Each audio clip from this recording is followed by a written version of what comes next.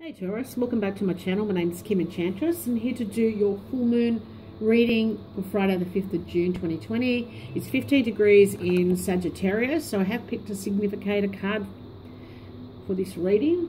Now it is a lunar eclipse, so what this means is the sun, earth and moon align together and it creates shadow over the moon. So there's a lot of things hidden around the 5th and um, it's about our internal realizations, having those aha moments, just getting that thought that, wow, is that what it is? That kind of moment that seems to be forever separating your lives into the before or after. Now, while the lunar eclipse is about big internal changes, we also have a solar eclipse on the 21st of June, which is a little bit more obvious and it is about our egos, our external self, it is about the outer physical world changing around us. And this is um, all about taking what we've learned from the lunar eclipse on the 5th and making those changes in our lives. So we will be a little bit uncomfortable. It will take us out of our comfort zone and it's going to make a different path for everybody, which will be definitely life changing. So now we've got the lunar eclipse squaring Mars also. This brings a lot of um, anger to the surface, so you could lose your temper around this time. So be careful how you speak to loved ones. And we also have um, opposite the lunar eclipse, we've got Venus, planet of love. This is going to make us feel a little bit lazy and dreamy, a bit careless with money and unsure about love. Now, if you're dating here, Taurus, just make sure you don't lower your standards just for the sake of being with somebody. Make sure it's for the right reasons because things are a little bit foggy around this time. If you're coupled, well then a lot of tension may arise during this period and um, it's just because the moon is about our emotions so it's about um, our moods or our needs. Maybe we're all on different pages now and that type of energies. Venus, the planet of love, also goes retrograde. So it's about um, difficulty in in receiving love and affection or giving love and affection.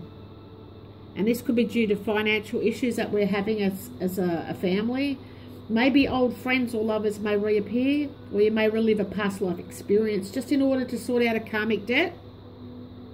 And uh, on the a more pleasant note, we might have destiny encounters. Quite possible you could find your soulmate around this time. So they're just within reach. But these energies are sort of like a love-hate type of energy. Because of Venus squaring Mars, it's increasing our sex drive. Our libido is going through the roof. So you've got to be careful if you're single not to make the wrong choices. It could be very risky for you. And uh, just because you're a little bit impatient because of lust, do it for the right reasons and make sure it's someone you have feelings for. In a healthy relationship, there's going to be tension. This is going to be testing for the healthy relationships as well. And uh, they may be relieved through more exhilarating sex, uh, sexual activity. Now, but in a difficult relationship, it's going to build up the tension. A lot of frustration could be expressed, and it could be that aggression that comes through as a love-hate union. So having said that, we'll, I'm going to have a look at what your cards here are telling me. So spiritually, it's something about what you believe in here Taurus. There's something that you're defending, something that means a lot to you, and it's something that you believe in. We'll find out what that is as we get further down the track. But it's something that you need to energize and bring out into the open, which will be around the 21st, around the solar eclipse. Now, on a me uh, mental capacity, maybe it, you may feel like it's costly to do this but I feel like um, it's something you enjoy and you've got to accept it for yourself. You will come to a realization this is something that you like. Uh, you don't have to worry about what others think. It's not their life journey. So maybe you have to be um, coming across direct and and use the most direct way that you can. So whatever this um, uh, relating to, you need to be um, take take the leadership in kind kind of a way.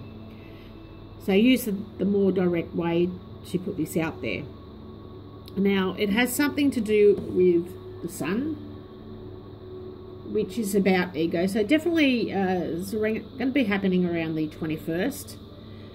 Now the sun we have the mountain with it. So this is about obstacles to achievement. So maybe you're trying to achieve something and you're trying to find the most direct way to get there. But it's costly perhaps. Um, or there's some blocks to happiness here. Now we have the tower as well in the reading and this is um, established success. So you have some obstacles but um, the sun is going to help you get through it, the solar eclipse. So this is high status achievement here, uh, Taurus, and established success that's coming through. So we'll go on a little bit further with the reading. Now we have the Dream Walker, and this is your beliefs. This is something that's coming through your dreams, the the collective good and illusions that you may be having, because the moon is about illusions. I'm just going to read a little bit from the book, so bear with me. Okay, so the Dream Walker. When the Dream Walker is your ally here, Taurus, dreams really can and do some true. Still, there are two kinds those of the small self and those of the divine. Spirit has a dream for you that is yours alone, and all you need to do is ask, and it will unfold like magic. Beautiful. You also play an important and unique part in the divine dreaming of the world. When you ask, Is this dream for me? that serves a greater dream, the most beautiful vision for your life serves the highest good for others too. Just the act of asking will immediately provide the answer. Now, the dream walker is beside you to help you move effortlessly through the illusions, observing the truth, and celebrating the waking dream of your life that results. Beautiful. It's a beautiful message. So, something about an established success or established business that's coming through, something that's high status for you here, Taurus, and it's beautiful. Now, we have the honeymoon card. So, it doesn't necessarily that mean that you're getting married and going on a honeymoon. This is about uh, traveling, possibly to another country. So, whatever this business is, may take you overseas and um, it's going to be very enjoyable for you. Or maybe this is you and your partner enjoying time together or going away. The feeling like it's Paris for some of you. Now, you definitely have success coming, and even though you've had obstacles, um, I do feel like you will find your way around them, definitely. Now, we'll just see what the outcome is for you here, Taurus. Just bear with me. I'm feeling you will nurture your soul by doing this. You'll find resources that you're going to be able to maintain. You're going to get that drive inside you to, to create this journey. Now there's going to be a lot of feelings that come up through the uh, lunar eclipse, but you're going to be practical about it. Now you will gain respect for whatever this vision is that uh, Spirit has put into your thoughts or visions.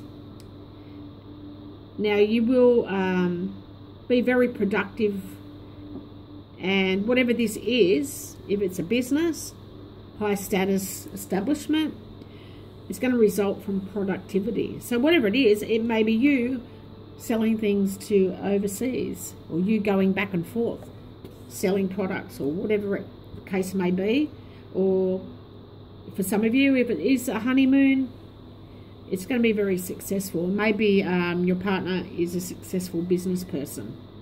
But it's about the collective good. It's an illusion and a dream that you've had. But trust in spirit. He's put it there for a reason. So I hope this means something to you guys around the solar lunar eclipse, uh, lunar uh, solar eclipse, I should say, and um, be very grateful to hear whatever your comments are during this time. Bye for now.